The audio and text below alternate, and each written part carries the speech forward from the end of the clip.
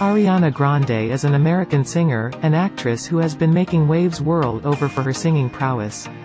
Since a very young age, she participated in plays and sang at public events, and gradually decided that she wants to do this all her life. Her first tryst with the world of entertainment was through the Broadway musicals, Beauty and the Beast, and The Wizard of Oz, but later Ariana Grande decided to devote her attention mostly towards music.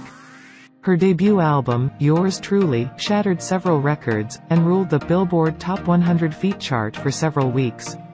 Ariana Grande Butera was born to Joan Grande and Edward Butera on 26 June 1993 in Florida, United States. While her father owned a graphic design firm, her mother was the CEO of Horace McCann Communications.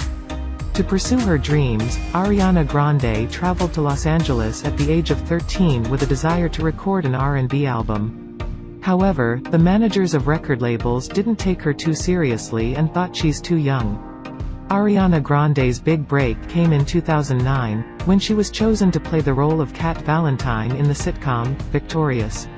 In 2010, Ariana Grande decided to take a break from her acting assignments and focused on polishing her singing skills. A year later, her song, Give It Up, from the soundtrack of Victorious, was released.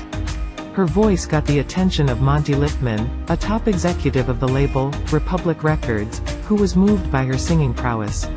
Soon, Ariana Grande signed a contract with the record label and in late 2011, and her first single, Put Your Hearts Up, was released. She released her debut album, Yours Truly, in August 2013, and within a month the album secured the top spot in the US Billboard 200 Feet Countdown.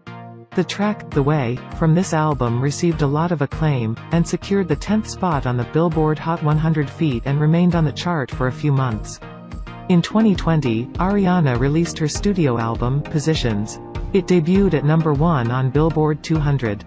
In the same year, she became the highest-earning woman in music on Forbes's 2020 Celebrity 100 list. In 2021, Ariana Grande collaborated with Canadian artist The Weeknd on a remix of one of his singles titled, Save Your Tears. It was released on April 23, 2021, and reached number one on the Billboard Hot 100.